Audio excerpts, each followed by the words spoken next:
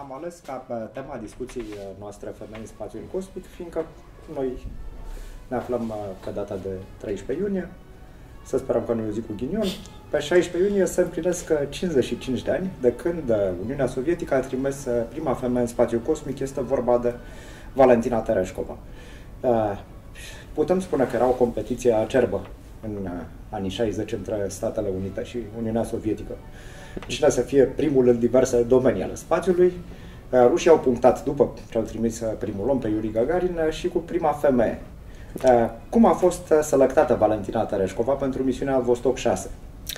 Da, aici a fost o combinație de factori. Rușii aveau într-adevăr de gând să trimită prima femeie în spațiu dintr-un anumit lot pe care îl selectaseră anterior.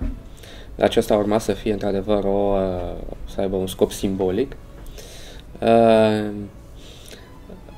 Treșcova uh, era un fel de practica parașutismul amator. Deci avea o oricare condiție fizică necesară, dar bineînțeles că a contat foarte mult în selecția și antrenamentul ei faptul că era fica unui erou de război decorat. Uh, tatăl ei murise pe frontul din Finlanda și de fapt uh, dorința ei pe care și-a exprimat-o în fața națiunii după ce a venit, uh, după ce s-a întors din spațiu, pentru că a fost întrebată ce poate face nația pentru tine, pentru acest efort depus, a fost să-i găsească tatăl, locul unde tatăl său căzuse în bătălie. Și uh, acest lucru Uh, a contat foarte mult, pe lângă faptul că într-adevăr avea și un background proletar, așa cum dicta ideologia vremii. Tatăl fost tractorist de tractorist înainte să devină tanchistă, exact, așa. Chiar și Valentina lucra la o fabrică de textile, deci venea din... Mediul proletar. Exact, sta, clasa, clasa muncitoare standard, da, așa, da. Um, și acest lucru atât uh, clasa din care făcea parte, cât și uh, faptul că fusese decorat tatăl ei, uh, conta, contat foarte mult la selecția ei. Într-adevăr, pe lângă meritele fizice personale și rezistența la antrenamentul la care au fost supuse 4 sau 5 uh, colege de ale ei. Uh, n-a fost un antrenament foarte lung, adică americanii erau mai thorough la chestia asta, a durat câteva luni, uh, dar uh, a fost... Uh, a trecut cu brio etapele respective. Um, după lansare, Treșcova a stat... Două zile și ceva, Da, cel mai mult timp în spațiu de până atunci. Da. Așa. Și într-adevăr nu a fost fără probleme, adică a, a avut greață și anumite stări neplăcute, dar în ciuda acestui lucru și-a desfășurat activitatea fără niciun fel de probleme, a făcut poze, așa a comunicat cu uh, uh, solul. În afară de, de uh, dacă vrei, valoarea de simbol, prima femeie în spațiu cosmic, misiunea Valentinei Tăreșcova a avut și vreo importanță științifică? Uh, din câte știu, uh, au uh, Pozele pe care le-au făcut uh, au fost uh, folosite în depistarea unor uh, straturi de aerosoli. Uh, deci trebuiau să depisteze aceste straturi atmosferice care se încarcă cel mai mult cu anumite tipuri de particule în funcție de culoarea lor. Și pozele care le pe care le-a făcut, uh, printre altele, a avut această, acest scop. Aș vrea să menționăm că odată întoarsă pe pământ, Valentina Tereșcova a avut uh, o carieră fulminantă care mai uh, continuă și azi. Cu toate că doamna e sărită bine de 80 de ani, are 81 de ani. Da, da, da. da. Uh, dar uh, a fost aleasă în Sovietul Suprem. A fost chiar în prezidiul Sovietului Suprem. Ceea ce este curios este că după destrămarea URSS, prestigiul ei nu a dispărut. Este în continuare deputată în Duma de Stat din partea partidului majoritar al lui Vladimir Putin, Ba chiar Vladimir Putin o folosește da, drept instrument de propagandă, scoțând-o la diverse meetinguri, la, la diverse adunări. Cum, are, cum a rezistat așa de mult uh, imaginea primei femei cosmonaut? Imaginea e ca valoare de simbol și... Da, pentru că cosmonauții, mai ales deschizătorii de drumuri, exploratorii care deschid drumurile în general, capătă o valoare de superstar, ca să spunem așa, în interiorul societății în care trăiesc. Adică reprezintă niște unicate cu care societatea respectivă se mândrește, cum ne mândrim noi cu, de exemplu, nu știu, cu Simona Halep, că a câștigat uh, așa, ei se mândresc cu acești uh, toate societățile se mândresc cu primilor astronauți sau cu singurilor astronauți. de, depinzând de caz, da. Deci, uh, reprezintă într-adevăr o acești astronauți au o priză mare la public și normal că după 90, când teoretic Rusia a trecut în democrație, mai mult sau da. mai puțin, dar nu asta da. contează, așa, aveai nevoie de priză populară, ca să spunem așa. Ea reprezintă o mare încărcătură, ca să spunem așa, de priză la public, de baie de mulțime, de ce dorești Pentru că lumea, într-adevăr, o vede ca un erou pe bună dreptate, așa, un deschizător de, un explorator deschizător de drumuri, și se mândrește cu el. Trebuie să mai menționăm că recent doamna fostă tovarășă Tereșcova a declarat că ar fi dispusă să facă și un zbor pe Marte. Da, da, da. Ei, acum, Păi după 80 de ani ce mai e de pierdut? da. Și într-adevăr, are, a dat dovadă de mult curaj, trebuie să spun, de la început. A zburat la 26 de ani. Și până atunci am mai făcut nici niște antrenamente cu miguri, pentru că ar trebui să-i pună pe astronauți, așa. Uh, s-a căsătorit cu un astronaut, deci uh, a avut o viață, nu știu, așa, bine poleită, ca să spun. Da, totuși destul de riscant, ținând cont că ambii aveau aceeași profesie. Da, de, uh, interesant e... Bine, și acum există așa ceva. Există familii de astronauți, dar uh, regula, de exemplu, în Japonia, ca să zicem așa, că nu-i lasă să zboare împreună în aceeași misiune. Da, ca măcar unul dintre ei, dacă Doamne ferește să da, întâmplă ceva. Da, să da, știu. Mai sumbru așa, dar e dar și pragmatic, util. Da, pragmatic. Da, pragmatic, da. da. Zim și mie, da, corpul unei uh, femei funcționează diferit față de corpul unui bărbat în spațiu cosmic? Uh, există într-adevăr mici diferențe, nu sunt notabile. Se pare că femeile chiar au o rezistență ușor crescută la, la anumite stresuri în spațiu cosmic. Uh, primele primele temeri erau ridicate de, bineînțeles, sănătatea reproducerii și chestiunea asociată acesteia.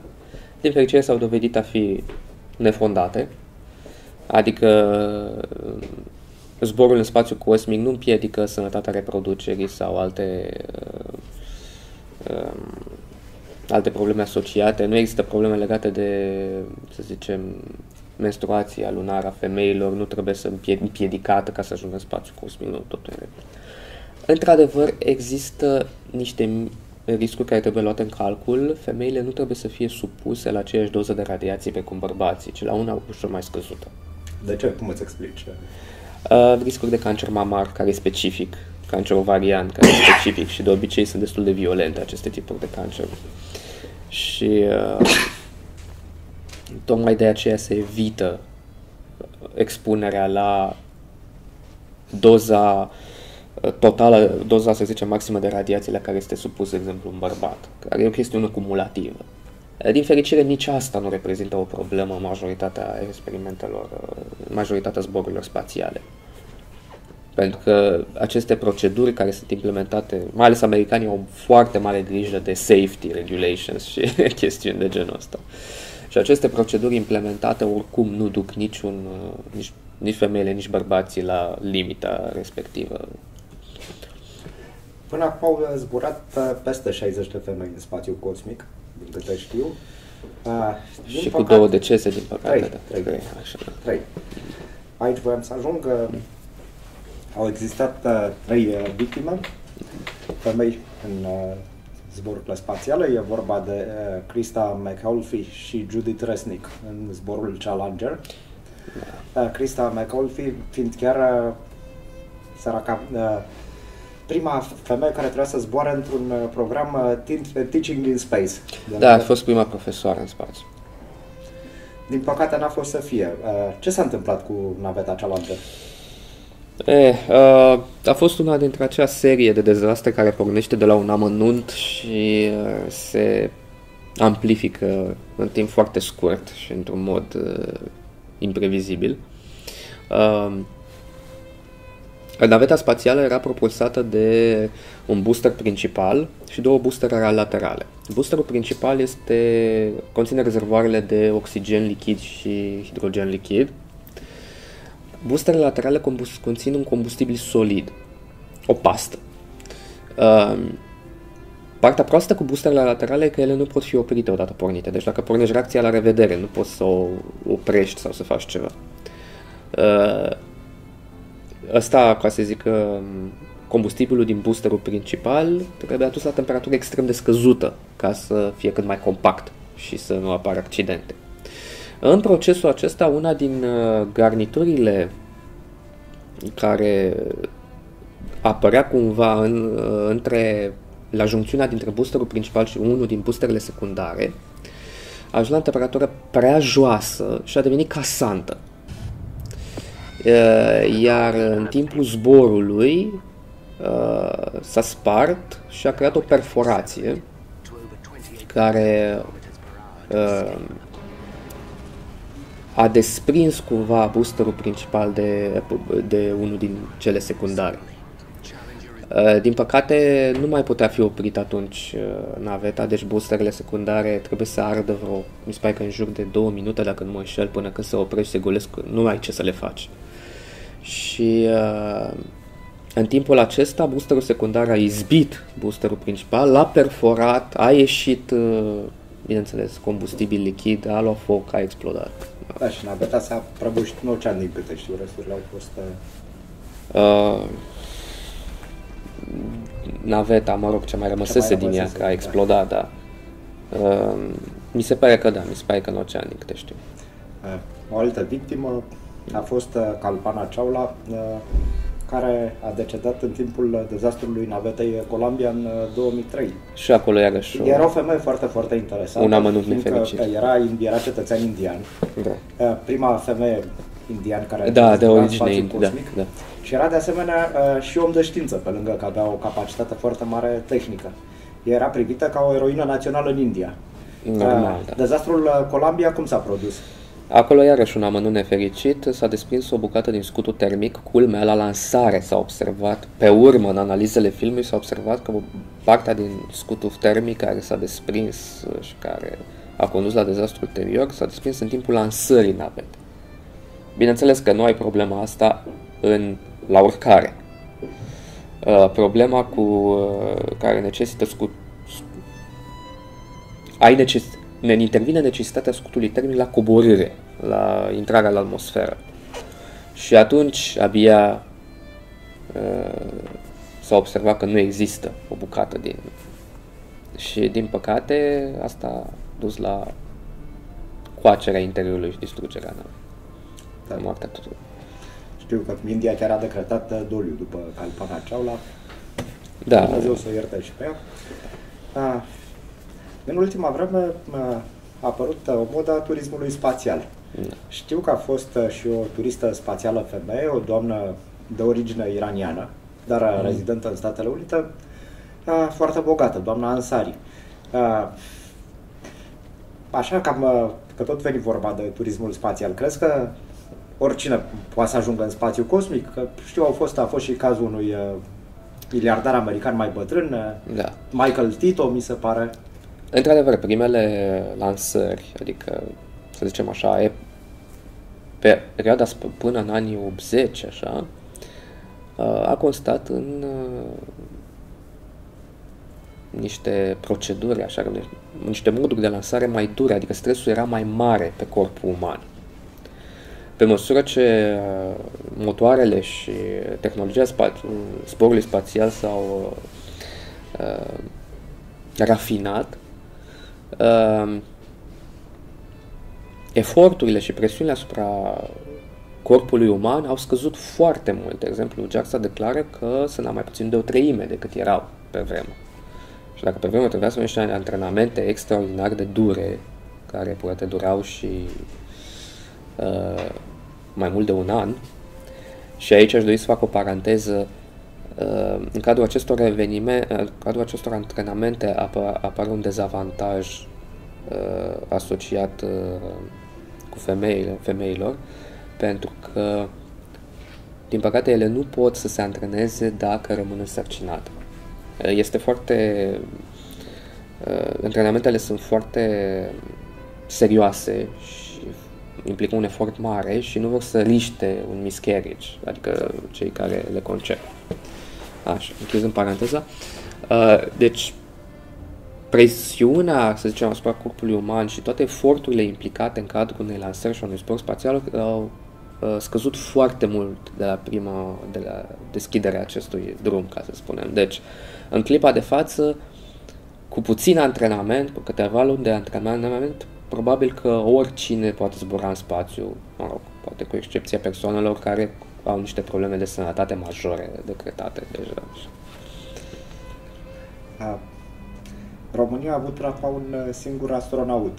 Da, domnul Prunariu. Da, dacă va mai avea un astronaut, crezi că sunt șanse ca el să fie femeie sau suntem așa de misogini? Uh,